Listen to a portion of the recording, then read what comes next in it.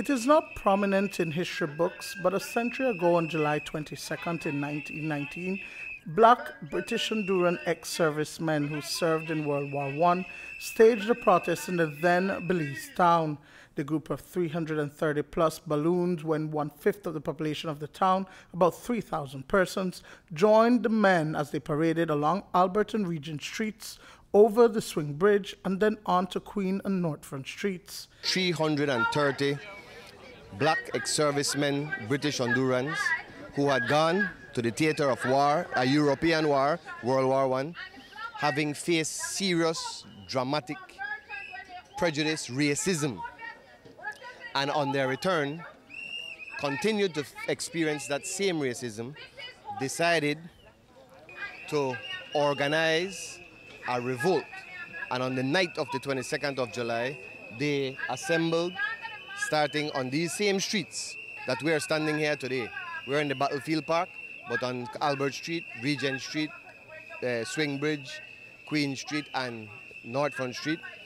They started with their 330 of them with whistles, that's why we have the whistles, organized, and by 10 o'clock that night, the police had joined them and over 3,000 of the townspeople in a town of only 12 to 15,000 at the time had joined them. While the events of a century past have been described as a night of rioting and looting, Yasser Musa says that it was a revolution rooted in a social issue that is still plaguing the country today. That is just a superficial view of the real root of a revolution that had occurred and that a hundred years later is still relevant to the consciousness of the country we call Belize because we are still struggling with who we are and our consciousness and trying to understand. Today is a remembrance day.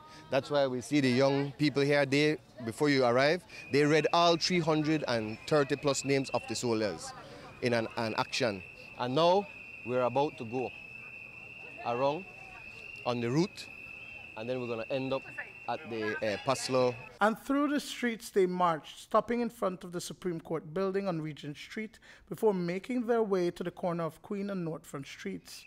There, the publication The 1919 Revolution, authored by Elmer Sib, who is a teacher at St. John's College, was officially launched. The 1919 um, revolution, it's also known as a riot, but we use the word revolution to have a to, to, to provoke something in your thought process.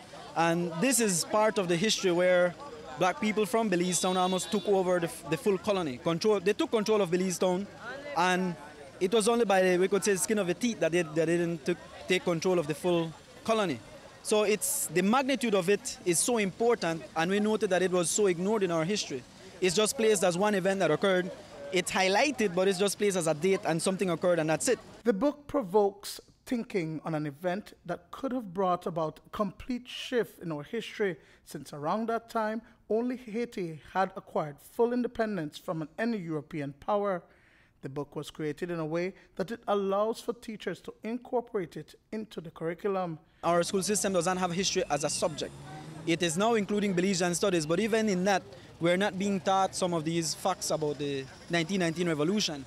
So our intent is basically to have this particular part of the history to be included in the curriculum, but not only in the curriculum. The bigger picture is to have people engage in it. So the, the level of writing is for anybody to just take it out and read it, but also there's a website attached to this project. So the book is a provocation. If you want to see some of the um, original documents, you can at the website. If you want to see the list of the, of the names of the veterans, you can at the website. Um, it also has a unit plan which, which um, gives some samples as to how it can be taught in the classroom. It has um, also uh, an activity sheet which is how you can provoke critical thinking to the students through the use of this topic in particular. Duane Moody for News 5.